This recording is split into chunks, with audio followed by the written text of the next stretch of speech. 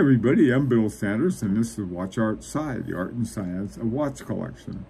Now, um, I've often been the dumbest guy in, in different groups and so this was this is a way to to be the not be the second dumbest guy in your group and put you up one step.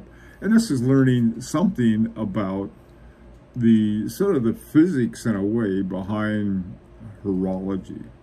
This is not a course in physics, by the way. Very simple. All right, now the problem is a problem with gravity. And the problem with gravity was uh, a number of early watchmakers had, knew they had to deal with it. And the way Abraham Breguet did is that um, here you have, this is, this is the closest I have to a pocket watch.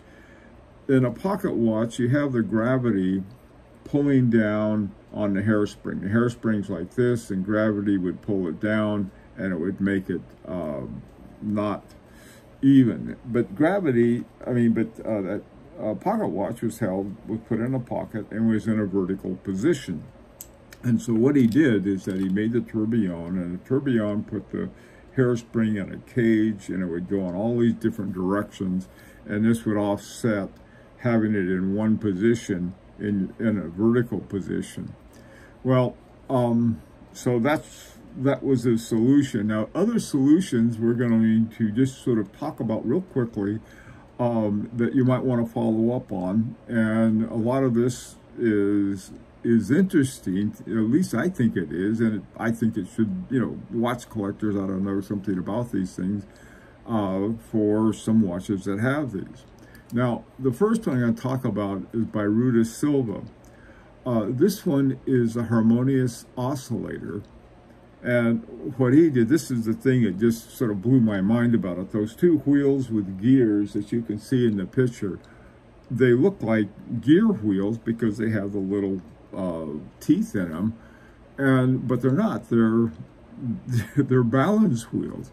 And what he did, he has these these two balance wheels going in opposite directions, uh, and at the same time, and they have each has their own hairspring, but the hairsprings are asymmetric, and this will offset anything pulling it one way or the other. Now, this is a very not the best explanation of it, but that's the essential notion uh, that that uh, Rudis Sylva has in his watch called the harmonious. That's he's got the names of Rudis Sylvas as like Rudis one, Rudis Sylva RS one two three four. You know, and so but this is the one the harmonious uh, oscillator, and it has in in different. Um, uh, different versions of it. This one, you can see the lower right down there, you can see one that's, uh, this is on the, uh, one of the uh,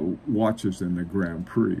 Now, another one is the Mirrored Force Resonance by Armin Strom. And what you have with resonance is that you have two different, really two movements. It's a two full movements in there, but they're connected to one timekeeping element. And they, what they do is that the two wheels turning, if you can imagine a spoke from one of these wheels going like this and this, and then think of a pendulum going back and forth like this, uh, just looking at one spoke, and that's essentially what you see with the oscillation that's going on with a balance wheel. And by putting them in resonance, they sort of cancel out the different forces that take them off of whack, basically.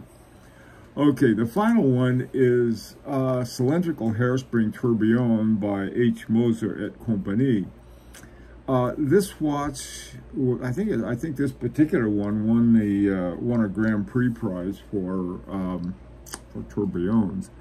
And the thing about this, you can see in the picture that the the hairspring, rather than flat, is cylindrical. And the idea behind a flat hairspring is that it'll it'll stay uh, stable. Well, uh, what they found that was important was to put what is called the Breguet overcoil at the top of the spring that twisted over and on. And so what they decided that, well, maybe if we can have sort of the entire spring like this, it would act as sort of one big Breguet overcoil. Um, and so the cylindrical hairspring has two Breguet, Breguet curves attached at two points. And so this reduces the friction on the pivots and improves the isochron um, isochronism, the stability uh, properties when the hairspring is combined with the tourbillon. So they have, not only do they have the tourbillon, but they have the tourbillon with a cylindrical hairspring.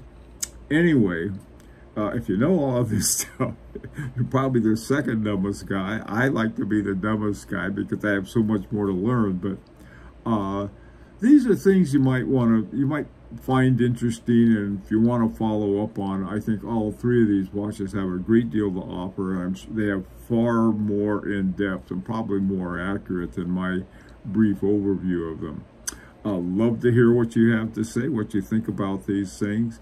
And uh, this is an opportunity to subscribe if you like. And until next time, this is Bill Sanders for Watch Art Society, the Art and Science of Watch Collection.